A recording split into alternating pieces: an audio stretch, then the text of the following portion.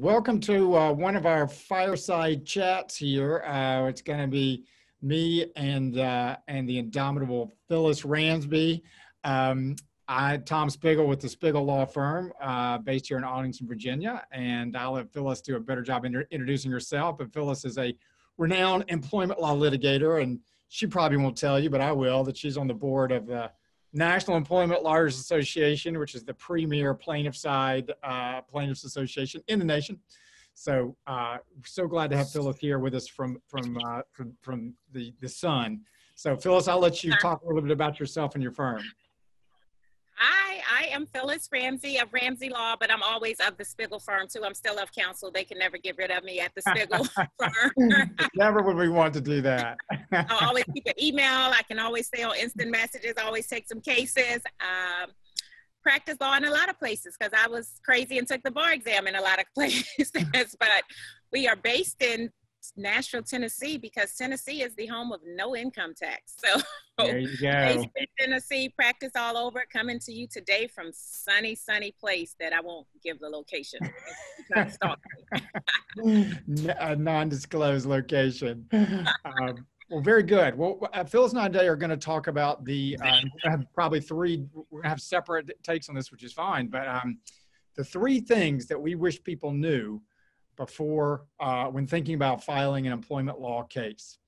Uh, of our many years of seeing this, both the good, the bad, and the ugly, you know, what we wish people knew. A lot of people say to me, as I'm sure they say to you sometimes, Phillis, you know, well, what would you tell a family member? If I were your sister, what would you tell me? So this is what we're telling you. If you were a family member or a sister or brother, this is what we tell you.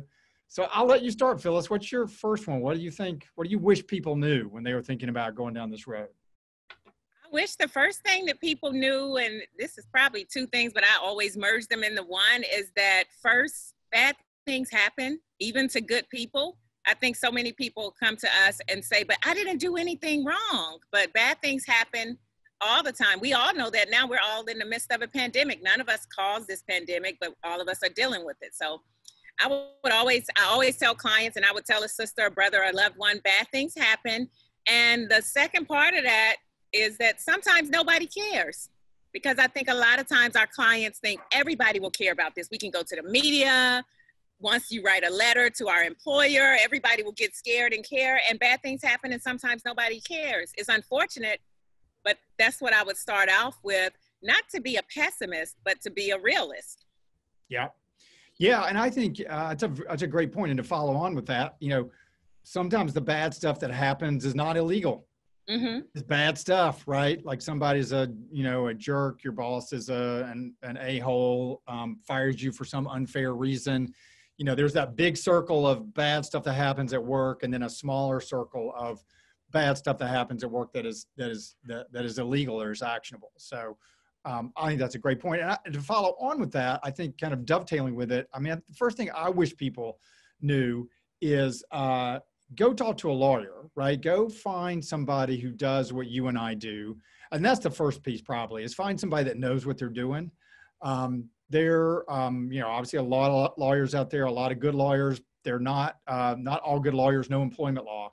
And right. sometimes people, you know, and they end up with somebody, you know, you know, and there's nothing wrong with personal injury. I mean, and there's some personal injury attorneys that do employment law, but just because you do personal injury, just because you do trial work doesn't mean, mean you know employment law.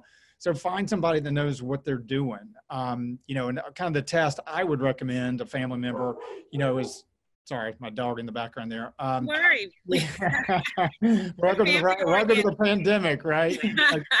kids back there somewhere. Uh, you know, is to to find somebody that knows what they're doing. Um, and to you know, great some great resources are uh, the National Employment Lawyers Association, NELA.org has a good employment law lo- lawyer locator. Um, you know, some other good ones, avvo.com is a good one. And I would ask an attorney, you know, when's the last time you or your firm filed an, uh, an EEOC charge? That's the test I would use. And if they haven't, if they look at you with a blank stare or if they hadn't filed one in six months, uh, then they don't know that you, you need to go ask somebody else. And when you find that person who knows what they're doing, you know what, like, and I know people say, of course you're a lawyer, you're going to say this, but pay for some of their time, you know, and and get a consultation i think it's well worth it and listen to what they say because somebody who does this a lot as we do can really hone in pretty quickly and you know, we can't say for certain how a case would turn out, but we can pretty quickly give you an idea of like, hey, this is you got something here. This is probably worth, you know, pursuing. Or, you know what, you know, if this is how you want to spend your money, that's fine. But uh, this is you've got a uphill uphill battle, and I don't see a lot of, you know, a lot of foothold that we can get. So I, I, that'd be my number one: is find somebody who knows what they're doing and and listen to them. Yeah, and I think my second point would would definitely be exactly that. I think so many people think of attorneys as one stop all, and we don't think of anything else in life like that. I right. really love my general practitioner, but my general practitioner is not the doctor that I go to necessarily to deal with my allergies and it's not the doctor I go to for a GYN. But I think for attorneys, you know, even when people hear we're, we are attorneys, whether we're out somewhere, or family members, they always ask us a question. When people come to me about tax questions, Right. I quickly say I am not a tax attorney. In fact, right. I'm usually in tax trouble. you know, people come to me about. All right, there we go. We had just a little technical difficulty there. Welcome to again to COVID times. Um, but uh, we will pick up again with where you were, what you're talking about. Phyllis talking about how finding an attorney who specializes in this is worth it. Yeah, I mean, we don't do anything else in our lives. You know, we make sure that somebody is a specialist. We pick certain doctors. If we have acne or we have asthma, or if you need, if you have cancer, you wouldn't go to necessarily a podiatrist. And I think the practice of law is the same thing. So many people just hear, hey, you're an attorney, and they think we can do everything. And there are some attorneys who can do many, many things. And then there are some attorneys that specialize in different areas. Employment law is such an esoteric area. I always ex- describe it to people like that. There are certain deadlines that don't necessarily make sense. For instance, the EEOC deadline of 300 days. That's not like a year. Right. And I've been doing this for some years now, and I still have to look at the calendar to say yeah. right. 300 days is six, two months less than a year. Um, And so, you know, or if you're representing a federal employee, they have 45 days to initially days. make contact with the EEO office, and that is a month and 15 days. I mean, a month and 15 days. So I think you really have to get someone that specializes like you would in any other area of your life because it's an it's an area. If you have an employment case, it's an area of your life that you have to make an investment in from the beginning, from picking the attorney and I would say to add to that about picking an attorney, realize that your your relationship with the attorney you choose, with the law firm you choose, is like any other important relationship in your life. The one with your spouse, your significant other, your mother, father, sister, brother, kid. You're going to probably be together a long time because yeah. employment cases can last. So, you know, there are some probably great attorneys. We've had some great people come across both of our firms who may not be the right client for us. And I'm sure some people think we are great people, great law firms, but we may not be the firm for them. So, in addition to picking the right attorney, I also think you need to look at the relationship with that particular attorney. Yeah, absolutely. And, you know, yeah, you know, talk to a couple of different attorneys, just like, you know, you could, you know, if you're going to have an important surgery, right? Like, there are plenty of, you know, you might find a couple of really good doctors out there, but you want to talk to them, make sure that you're both on the same page. And because you're right, it's to, it can be a long and sometimes difficult road. And, you know, you want to, you want to feel like you can, you can trust your attorney and you, you know, within reason, enjoy spending time together. You know, I think to, to your point, you know, in finding that attorneys realizing like if you're in a, a rural area, there may not be anybody in your town that does this work. Um, that doesn't mean there aren't good attorneys in your town, but there just may not be somebody who does this. And it's okay to, you know, with the work we do, a lot of it's in federal court. You know, you don't necessarily need to even be in the same state as, you know, you and I both have represented people we've never met in person because it's all been it's all been over the phone. They've all they've been in a different state. So, you know, if you're in, you know, small town with uh, two traffic lights, you know, go go look for somebody in the state capital or somebody, you know, in your state in a larger area where you're more likely to find attorneys who do this do this sort of work. Um, no, I think that's all good stuff. My my number two is, and I know you're you you you uh, have seen this too, Phillis. Um, is just to your point, like that, thinking that people care. Don't think that the press is gonna the press is gonna come, right? And I get it. You know, I people think, you know, hey, I, I you know, I've, this terrible thing happened to me as soon as we file in court, you know, the press is going to show up and there are going to be cameras and the company's going to be embarrassed and, uh, and they're going to settle. And I got to tell you, and I know you've had this situation, Phillis, they nine times out of 10, they just don't care. Even if the press does show up, the defendant just doesn't care. I mean, um, because it's probably not going to get a lot of traction if it's a big company. They, the sad thing is, it probably gets sued not infrequently. Um, they don't mind if they get a splash on the six o'clock news occasionally. I mean, I, I had a client one time where literally after we filed the complaint, the uh, press crews came and camped outside of the defendant's window in the company. They had the cameras like look like looking through the window didn't care. The company didn't care. I mean, we eventually settled the case, but it wasn't because of that. Right. Um, you know, there are some. Uh, we did. We recently had one case where I do think the fact that we got some press, you know, uh, moved the defendant to settle probably earlier than they would. But it's oftentimes either, either they don't care or or it hurts, mm-hmm. right? Because the defendant is like, okay, well now this is out in public and now I've got to defend my name. My what company. do I have to lose? what have I got to lose? Right? right, now, I got I got to, you know, I got to you know throw some dirty punches and and try to drag you through the mud. So I, I and I get it. I understand why people think this, but they're like, hey, you know, as soon as we file this, press is going to show up and they're going to want to settle. And I'm like, man, if I had a if I had a dime for every time I heard that, I'd be retired. Well, another thing on on the press, you know, as, as you said it's not often going to the media that makes a company so, settle, especially if you're suing a bigger company. They probably have a huge PR team. They have they, they have things just for this. They haven't been sued for the first time. You are not the first person to sue. I mean, we can go on Pacer or any online court system just today and look up what cases have been filed and hundreds in the midst of a pandemic still are filed. And actually, it can backfire because if you go to the press, a company may be reluctant to settle because they are going to say, if we pay a large amount, we'll look like we did something wrong. Right. Well, this is out in the news. If we pay now a million dollars, people will say we did something wrong.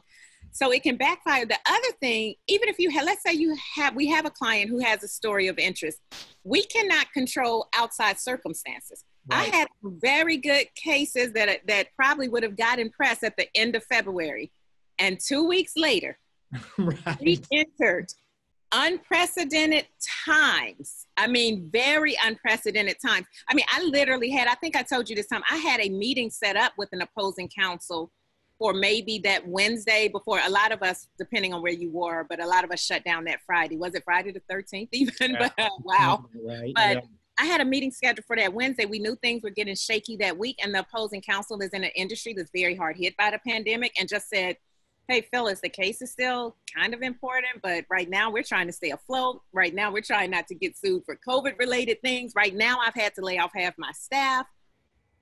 I'll right. talk to you when this is over. And At the time, we were naive and thought this was over with me in two weeks. Uh, six months right. later, I still not talk to them but we, we can't determine the circumstances. I, I've told so many clients in the last few weeks, there are really three main things that are big in the press right now. And if you don't really fall into one of those things, you probably won't get attention. One, of course, is the the never ending and ever relent never ending and relentless pandemic. No matter who you are, this pandemic is touching you.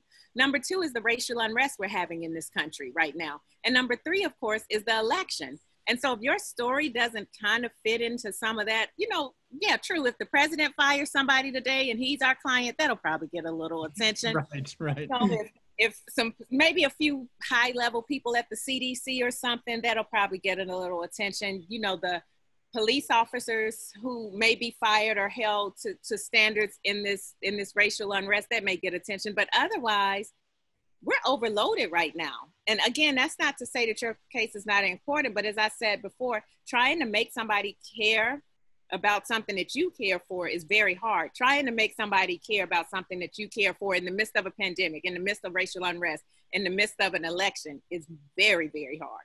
Yeah. Well, and and uh, to your point, sometimes if if your story falls within one of those categories, the fact that really really bad stuff is happening, if yours isn't worse, Exactly. I mean, like during Me Too, I'm sure you had this. Like we had people call our office, you know, the, as a result of Me Too, that had some pretty bad stories, and uh, we had one that was, you know, could have been, you know, could have been somewhat high profile. Um, and we ended up kind of going around to some some you know reporters and talking to them, and it wasn't that they didn't care, but they were like, man, if it's not Harvey Weinstein bad, we it's just not going to make the news. And so it was sort of weird. It was sort of like the opposite effect. It's like, hey, this is an example of what's going on. And they're like, yeah, but you know, it's got to be really bad now. It's got to be even worse it than it was than than for us. To, who, who is suffering the most? This a competition, right. Right. and you know, no offense, but if you've been laid off from your job or terminated for from your job for running your your boss was just bad boss. And they may have discriminated against you but you know it wasn't egregious meaning there were no slurs used you weren't abused on the job nobody hit you. It probably won't get much traction especially now because in some ways we're becoming desensitized to bad things happening. Yeah. Yeah. You know, we're we're all looking at TV every day and the worst of the worst is happening. Last year this time I probably would have cried every day if I was watching the news that I'm watching this year. This year I'm just like, "Oh, okay, one more thing." Yeah, you know? I know. And that's how much of our society is right now. Yeah, absolutely. Um, what's your number 3? Wow, I would say number 3 has to do with be reasonable. Know that your case is not like everybody else's case, and you may not have a multi-million dollar case. So be reasonable. Right. The great thing, you've heard me say this, and we've talked about this. The great thing about technology is that it has opened up an entire world for people who would have otherwise not had access to it. So we can sit at home and Google things. I've taught myself how to do some things over Google during this. Right, during YouTube. This right, I always got to go to YouTube. How do I do this? Right. So that's the great thing about technology. The bad thing is that it makes everybody think, think everybody thinks they're an expert or knows more about a subject than they do. And even just the way algorithms and things work, it usually only pulls a certain kind of topic when you Google something. So back to the Me Too uh, movement when the Me Too movement was very high at its, you know, at its height, we would get a lot of calls from people saying, I was sexually harassed at work. I saw Gretchen Carlson got this much. I want that much. Right. And I was like, yeah, she kind of made more money than God even before the situation happened. And in employment law in particular, a lot of your damage are based, are anchored in what you made anyway. Yep and that's putting aside that we don't have fair wages in many industries and uh, many people are underpaid. The bottom line is your damages are based in what you made anyway. And so someone who is sexually harassed and makes $400,000 a year is probably going to have higher damages than somebody who's sexually harassed and ha- makes 20,000 a year. Same with racial discrimination, any any any form of discrimination. And so I would just say be reasonable realize that your case is different from other cases. It may just be one fact that's different, but it's different. Yeah. And so be reasonable. Go into it with an open mind. Again, I compare it to so many other industries. So it is like the medical field. Some people have cancer and live for years and are just fine for years. And then some people, between diagnosis and death, it may be four months, five months, four years. So be reasonable. Know that your case is different from others, and know that there are some multi-million dollar cases. Believe me, but many times there are not. there, I think there are more cases that are not multi-million dollar cases than there are cases that are multi-million dollar cases. Absolutely, and I think, you know, uh, uh kind of to dovetail on what you were saying, like be strategic, right? Like when you get to that settlement table, you and I both have seen people who they get a good settlement offer and we tell them a good settlement offer and they're so emotionally understandably attached to what happened and they're angry and man they want you know they want to see that corporation bleed. And i get it. I'd, I'd be in the same same boat. But I, you know i love like you know a, a, tactic that i stole from you phil it's like okay um, that you let, this offer's on the table. Let's pick a number out of the hat. You know $50000 on the table. You're saying you want to turn it down. Before we do, do that take out a piece of paper and write down all your bills, mm-hmm. all the bills that you could pay with fifty thousand dollars in your pocket, right? And and then you know we when you when people do that and they start to really think about what that money would mean for them, all of a sudden they kind of come back to earth. And that's not to say you should sell yourself short. I mean, this is another point where listen to your attorney. If your attorney's saying, you know, hey, we could push this to trial and you know, you might get 75 or 100 and they're offering you 50 now because you could lose and get zero, you know, you might want to think about taking that. You know, be, you know, be strategic. Think about think about what you count as a win. Because right. that can be a win. They just wrote you a check. They're talking about writing you a check for fifty thousand dollars. that could buy a lot of party supplies, that could, you know, buy food, that could pay off whatever or whatever it is you wanted to do with it. And um, you know, you could turn that you could turn that down and get zero all because you want to fight for justice. And that's fine. You know, these our clients are big people and they can make that decision, but be very clear what you're doing when you're sitting at that settlement table. Yeah, be strategic, be reasonable. Understand one question I always ask clients is what is a win to you? is a win getting a huge amount of money. We had a case, Tom, through your firm where it was a great settlement monetary offer. I mean, it was it was really great, especially for the, what the case was. And the client said to me, in the settlement, I want to have a phone call with the CEO. I was like, whoa, I'd rather have the money. I don't care about the CEO. but okay. But for, for everybody, a win is something different but you know when you're being reasonable about it again that goes back to the points we said before pick a good attorney who's going to walk you through it who understands your needs who is going to listen to that in this particular case i was actually able to get it for the client i couldn't even believe it so i don't think it was yeah. any of my i think i got lucky but you know what what is reasonable to you what are reasonable under the circumstances and when there is something on the table, think about the risk that you want to take. Oftentimes, the further we go in the case, we can get more, but we also spend more. Yeah. So it comes a point where it's a diminishing returns. If we are in a mediation and we have $50,000 on the table, and a client says, okay, I don't want it. I want more. I want 75 or I want 100. We may go to trial and get 100, but by then we may have done more deposi- depositions. We may have spent more money. And so when we have to deduct the cost out of that, you're still at 50 or probably less.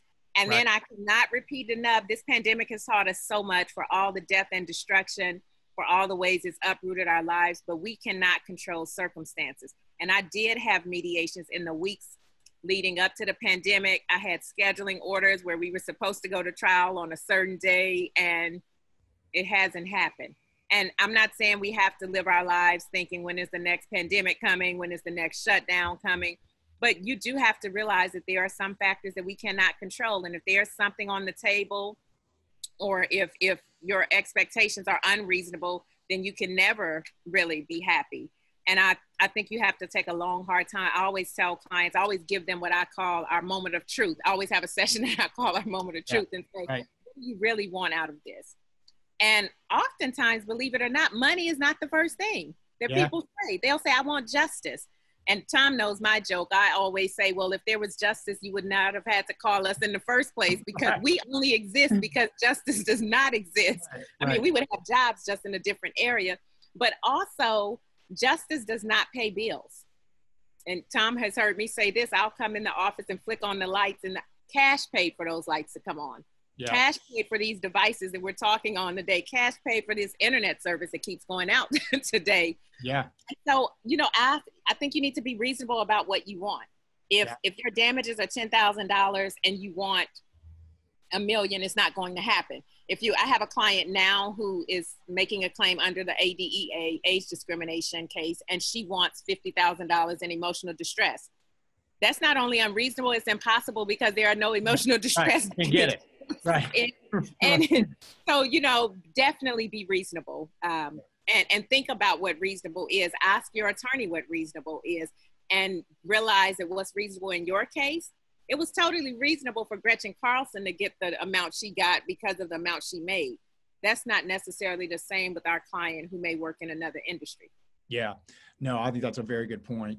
Um, and, and, my number three, you know, to, to kind of end on a positive note, and I think you'll join me in this, is like you know, because we, we talked about some cautionary tales, which are important for people to know. But but for those people, you should also know you can win. I mean, depending on what your definition of a win is, like don't think, you know, well, I'm just a little person. You know, this wasn't bad enough. I don't have a smoking gun email. Like, you know, I've, you've you've probably seen this too, where we've had people who waited and waited to come to see us, and I'm like, man, I wish you would come earlier I wish you would just come like right after this happened. I wish you had done it, you know, like I've even had people, and you probably had this too, fellas, come to me and they're like, I felt sort of guilty about, you know, yeah. I didn't want to put my job, I didn't want to hurt my my company. And I'm like, I get that. That's a that's a noble feeling, but man, they're that just puts you in a worse spot, you know. So know that that victory happens. You know, you and I have people, you know, all these a lot of these cases don't make headlines, but people who walk out of here, walk out of the office happy, man. Very I mean, happy. happy. You know, they they they stood up for themselves. You know, maybe they didn't get a million dollars, maybe they did. You know, but they got something that they considered a win. And um, you know, I'll never forget. I had a I had a woman that came in here.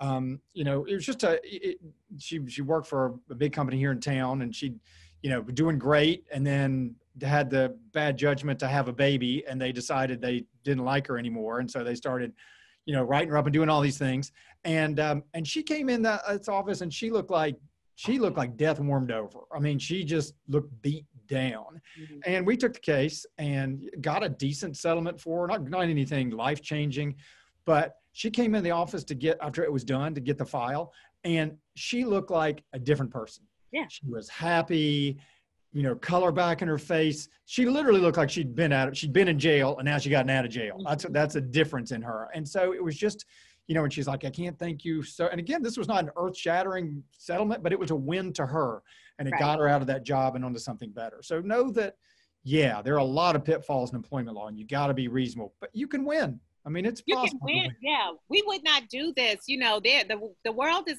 already painful enough, especially right now.